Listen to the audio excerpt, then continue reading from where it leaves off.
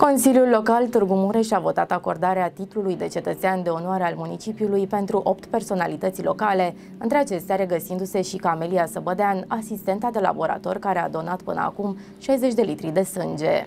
Camelia este asistent principal de laborator la Spitalul Clinic Județean de Urgență Târgu Mureș și a devenit cunoscută în țară după ce echipul ei a fost proiectat pe clădirile comerciale din Times Square din New York, în semn de recunoștință pentru numărul mare de vieți salvate. Asistenta a donat sânge pentru prima oară în luna octombrie 1988 la vârsta de 18 ani, fiind angajată a Centrului de Transfuzii din Târgu Mureș, iar de atunci nu a încetat nicio clipă să doneze. Prima oară am donat sânge la 18 ani, eram deja angajată a Centrului de Transfuzii Târgu Mureș și am donat sânge pentru a-mi învinge teama. Lucrând la Centrul de Transfuzii, doream să știu și ce simte donatorul în momentul în care donează sânge și de ce are el nevoie pentru ca acea experiență să fie una plăcută, ca el să poată să se reîntoarcă. Atunci am donat sânge. A fost o experiență incredibilă, cu toate că teama a fost foarte mare, dar am beneficiat de suportul emoțional, suportul afectiv al colegilor. Astfel, eu lucrând acolo la Centrul de Transfuzii, eram tot timpul în mijlocul mijlocul evenimentelor care aveau un anumit caracter tragic, adică evenimente care mobilizau aparținătorii unor victime ale accidentelor rutiere sau ale unor intervenții chirurgicale majore și atunci la mine s-a conștientizat permanent nevoia de donare de sânge. Eu am fost campioană, să spun așa, deci nu sunt eroină, sunt campioană, dar sunt sigură că sunt oameni pe care nu-i cunoaștem și care au foarte, foarte multe donări în trecut. Îmi amintesc că așteptam cu nerăbdare să se facă termenul respectiv ca să pot dona la 42 de zile iar apoi când a crescut cantitatea de sânge donat la 450 de mililitri, s-a ajuns la un termen de două luni intervalul între două donări. Bărbații pot dona de 5 ori pe an și femeile doar de 4 ori, deci cu siguranță sunt un campion. Camelia Săbădean a făcut un apel la toți oamenii sănătoși să meargă să doneze periodic sânge pentru a salva viețile celor aflați în pericol, fiindcă donarea de sânge nu doare, nu aduce prejudicii organismului, în schimb îi aduce doar beneficii. E nevoie de campanii și campanii și cred că nici nu mai contează motivația dacă partidul nu știu care a adunat membrii, au donat și au chemat televiziunea sau oricare altă categorie profesională, relatează mesajul.ro.